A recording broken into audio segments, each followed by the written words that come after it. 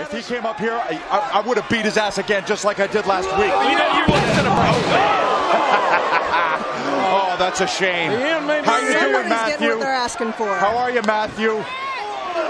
This is certainly this uh this match is certainly unfair for Matt Hardy. A tune-up match.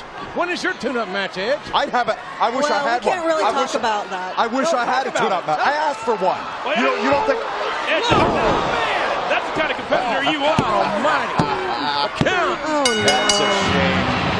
That's a shame. Snitsky son. So much. So much for his tune-up match. you can't be proud of. Wait a minute. I'm proud of Snitsky. Is that right? That's What it. you doing, That's it, Gene. I'm proud of him right now. Put that belt down, I'm proud of it. Gene Snitsky. We saw what you did with that last week. Yeah, that's a stand-up man right there. Do it, Gene. Now this could finish Matt Hardy Play- off for oh, good. no, Gene, don't do it. Don't do it. Please don't hit him with that bell. Whatever you do, Gene. Oh, this is sick. Matt Hardy can't even defend himself. Oh no, poor When man. Snitsky does this, there's no way Bless Matt his Hardy little heart. gets the Do it, Gene. Do it.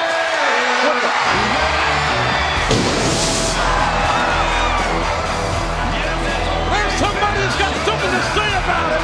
The man that Snitsky knocked out last week. The 500 pound big show. Do it, Snitsky. No, do it, do it. Snitsky. Do it. Hurry up, Snitsky. Come on, do Don't it. do it. Do it. Knock his head off. Don't do it, Snitsky. No. That's it. Oh, Snitsky running like a skull That was dog cheap. for the big show. But the damage has been done to, to Matt Hardy.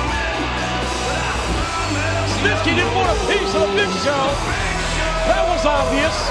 And it was also obvious that, was a Matt Hardy had no business being in this tune-up match.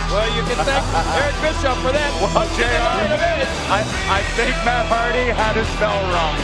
Just a little bit. Just a little bit. Just a Ladies and gentlemen, sample take you back to earlier tonight and show you what